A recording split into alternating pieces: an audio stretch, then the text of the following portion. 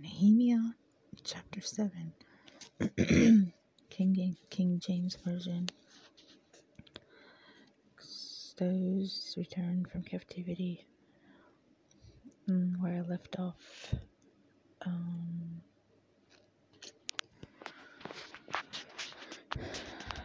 where I left off, let's see. Where did I leave off? That I gave my brother Hana, Hanani and Hana, Haniah, the ruler of the palace, charge over Jerusalem. For he was a faithful man and feared God above many. And I said unto them, Let not the gates of Jerusalem be opened until the sun be hot, and while they stand by, let them shut the doors and bar them, and appoint watches of the inhabitants of Jerusalem, every one in his watch, and every one to be over against his house. Now the city was large and great, but the people were few therein, and the houses were not builded. And my God put into mine heart to gather together the nobles and the rulers and the people, that they might be reckoned by genealogy. And I found a register of the genealogy of them which came up at the first, and found written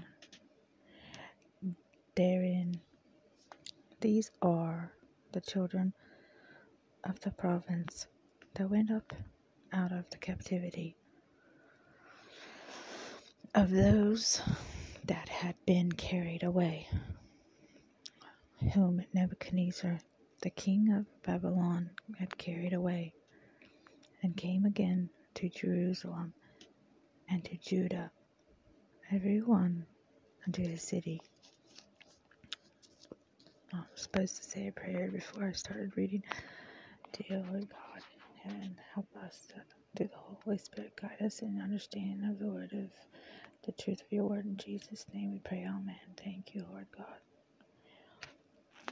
And these are the children of the province that went up out of the capti- captivity of those that had been carried away, whom Nebuchadnezzar, the king of Babylon, had carried away, and came again to Jerusalem and to Judah, every one unto his city.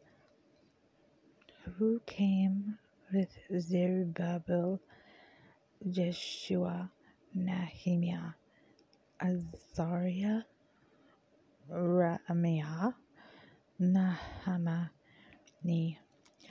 Mordecai, Bilshan, Miss Perith, Bigvai, Vei, Nahum, Bana, Beana.